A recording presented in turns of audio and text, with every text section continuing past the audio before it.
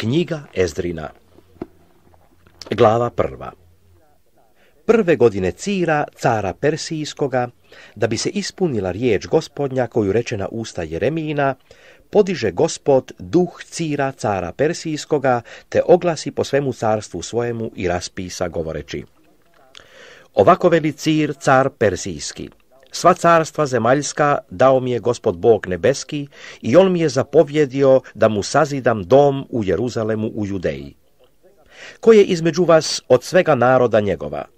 Bog nebeski neka bude s njim, pa nek ide u Jeruzalem u Judeji i neka zida dom gospoda Boga Izraelova, Boga koji je u Jeruzalemu. Ako bi ostao u kojem god mjestu gdje se bavi, neka ga ljudi onoga mjesta potpomognu srebrom i zlatom i imanjem i stokom, osim dragovoljnoga priloga na dom Božji u Jeruzalemu.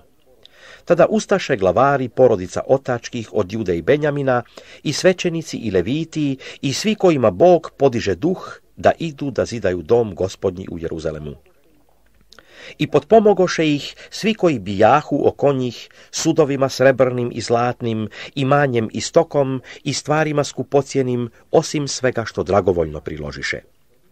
I car Cir izdade sudove doma gospodnjega koje bijaše odnio iz Jeruzalema car Nabuhodonozor i metnuo u dom svojih bogova a izdade ih Cir, car Persijski, preko Mitridata rizničara, koji ih izbroji Sasabazaru knezu judejskom.